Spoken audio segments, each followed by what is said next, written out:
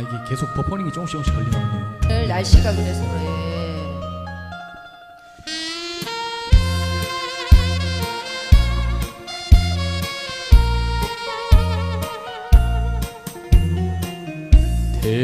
대웅강아 내가 왔다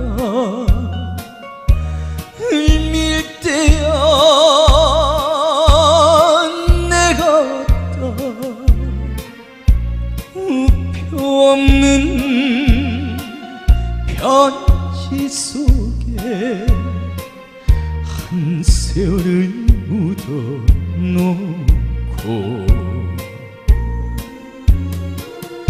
지금 낯설은 나그네 되어 칠백리 고향길을 찾아왔다고.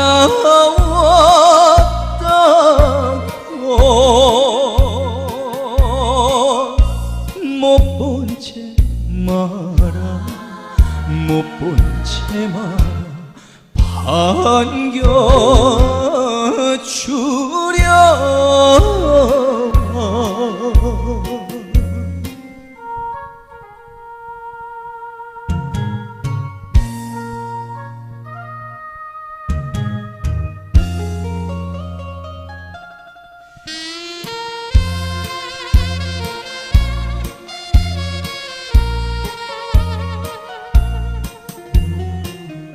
대동강아 내가 왔다 푸병루야 내가 왔다 주소 없는 겉봉투에 너의 얼굴 그리다가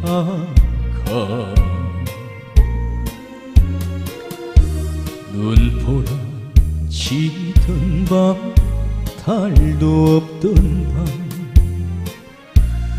울면서 떠난 길을 돌아왔다고.